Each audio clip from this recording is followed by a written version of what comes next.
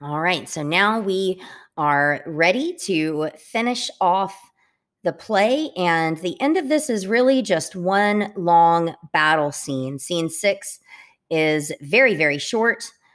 And then that is followed by Macbeth finally entering the field. So this one is just uh, Malcolm's army is ready to go. Now, near enough. Your levy screens throw down and show like those you are. You, worthy uncle, shall with my cousin, your right noble son, lead our first battle. Worthy Macduff and we shall take upon us what else remains to do, according to our order. Fare you well. Do we but find the tyrant's power tonight?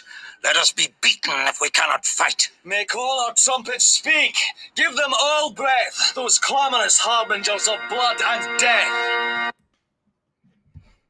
So now in scene seven, Macbeth enters the field. Notice his attitude as he begins to fight. Now, near enough. Oh, You- that's the same one. Sorry.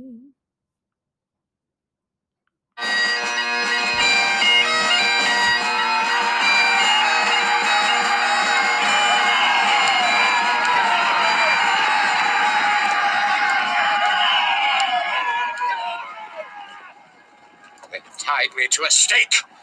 I cannot fly, but bear like I must fight the course. What's he that was not born of woman? Such a one am I to fear or none? What is thy name?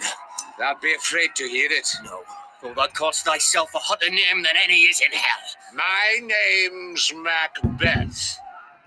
The devil himself could not pronounce a title more hateful to mine ear. No, no more fearful.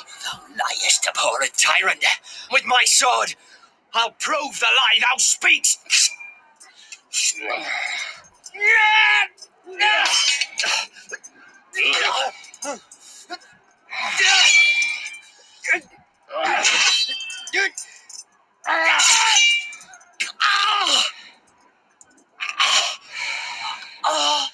Thou wast born of woman.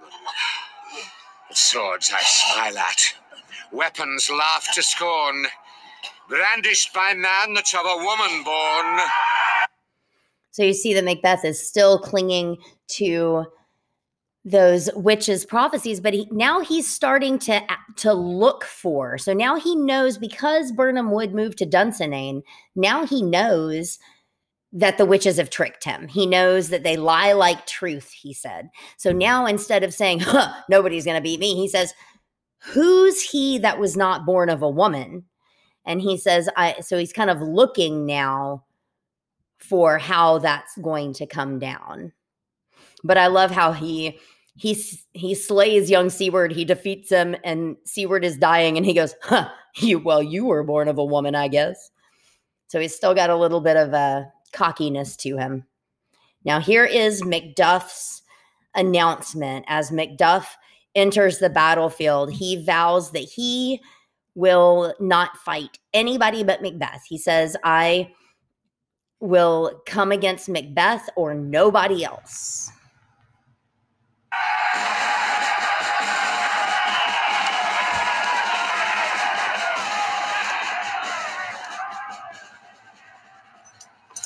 That way the noises.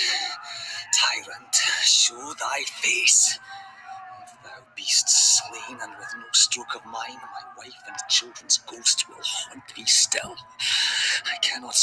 Wretched kerns whose arms are hired to bear their staves. Either thou, Macbeth, or else my sword with an unbattered edge I sheathe again undeeded. There thou shouldst be. By this great clatter, one of greatest note seems bruited. Let me find him, fortune, and more I beg not.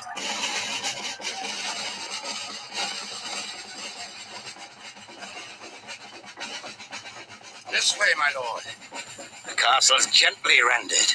The tyrant's people on both sides do fight. The noble thanes do bravely in the war. The day almost itself professes yours, and little is to do. We have met with foes that strike beside us. Enter, sir, the castle. And so this is where, in most versions, scene eight would begin. So if you are uh, wanting to follow along using the audio that's posted on Kiddom at this point, you will need to switch over to scene eight. But they just keep it going here on My Macbeth.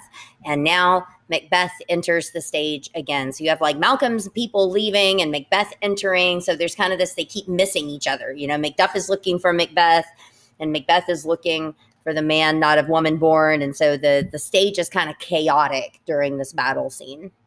Why should I play the Roman fool and die on mine own sword? Whiles I see lives, the gashes do better upon them. Tom! Hellhound! Tom!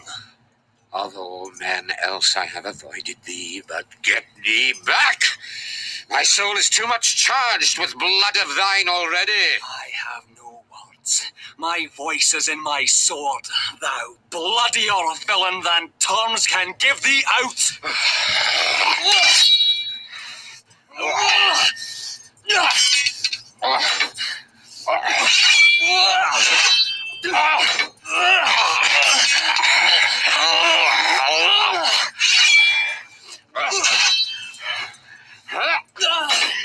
Thou losest, Lamer.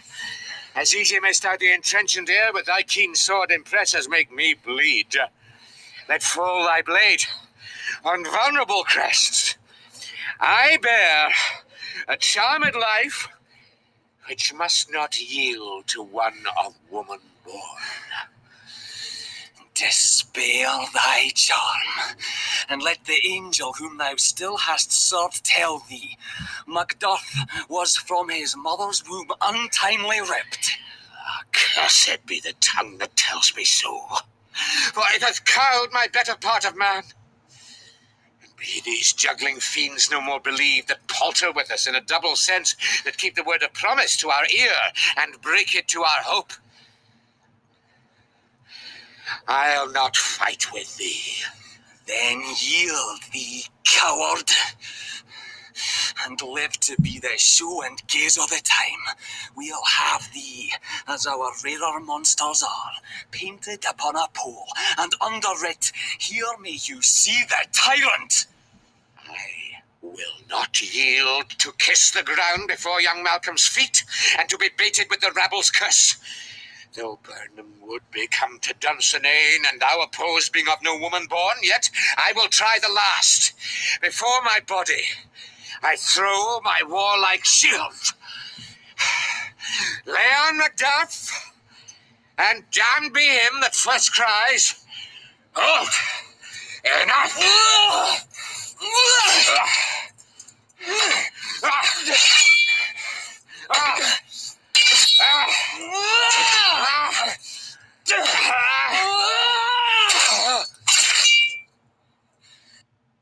So they exit the field fighting. But just to kind of go through this, as they begin to fight, Macbeth is hesitant to fight Macduff. He says, Ah, I've killed enough Macduffs already. But Macduff insists. And after they fight for a while, Macbeth says, Ah, you're wasting your time. I bear a charmed life, and no one can hurt me who is born of a woman. So he kind of brags about his charmed life. And then Macduff says, Oh, well, then let me tell you that I was from my mother's womb untimely ripped, meaning that he was not born of a woman. He was not naturally born at all. He was delivered basically by a C section, um, which, you know, using the word ripped makes it pretty clear his mother did not survive that process, but he was so he was not naturally delivered and that is how the witches created that little trickery. And so at first when he hears that macbeth is like oh well i'm not going to fight you then. And macduff says fine don't fight me. We'll just have we'll we'll put a sign up and we'll keep you in a cage and we'll say come see the tyrant and so macbeth is like yeah you know what? Um, i'm not gonna I'd rather die than kiss the ground before Malcolm's feet, so I will try to the last. And so he still has that attitude of, I'm going to go down fighting. And they fight their way right off the field, and now enter Malcolm.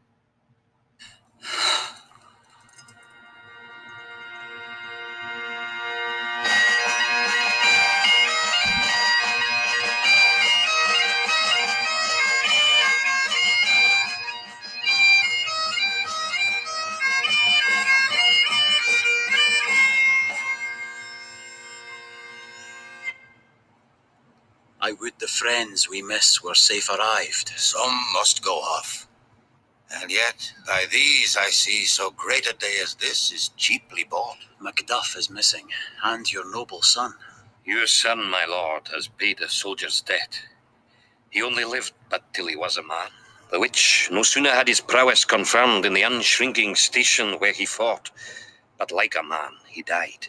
Then he is dead. Aye, and brought off the field.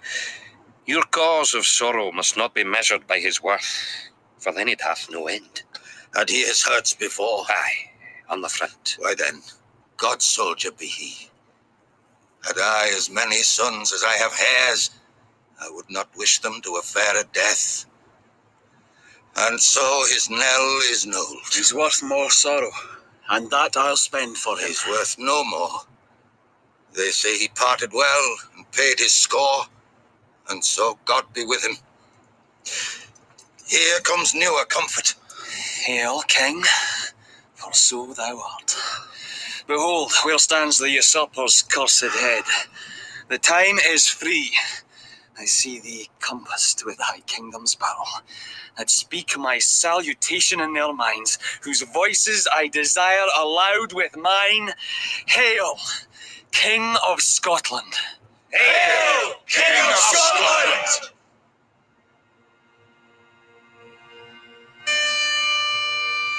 We shall not spend a large expense of time before we reckon with your several loves and make us even with you. My thanes and kinsmen, henceforth be earls, the first that ever Scotland in such an honour named. What's more to do, which would be planted newly with the time, as calling home our exiled friends abroad that fled the snares of watchful tyranny, producing forth the cruel ministers of this dead butcher and his fiend like queen, who, as 'tis thought, by self and violent hands took off her life. This, and what needful else that calls upon us, by the grace of grace we will perform in measure, time, and place. So thanks to all at once, and to each one, whom we invite to see us crowned at Scone. And thus ends the tragedy of Macbeth. Macduff enters with Macbeth's head held high. And as Seward points out, uh, he says this day was cheaply bought, meaning, really, after such a battle as this, we didn't lose that many men because, as they had mentioned earlier, the people who were fighting for Macbeth kept switching sides. They were wanted to fight for Malcolm in the end. And so then Malcolm becomes king and he makes a nice, lovely little speech that he will from henceforth call all the Thanes earls. And he uses this great phrase for Macbeth and Lady Macbeth. He says, This dead butcher and his fiend like queen. So now I would like for you to consider on your last question on Kiddom what do you think is it correct to call Macbeth a butcher and Lady Macbeth fiend like? And did they get what they deserved? Was this play a tragedy? Watching their downfall, were these honorable, noble people who experienced a downfall because of too much ambition and too much pride and the interference of the witches? Or were they a butcher and a fiend like queen who got what they deserved?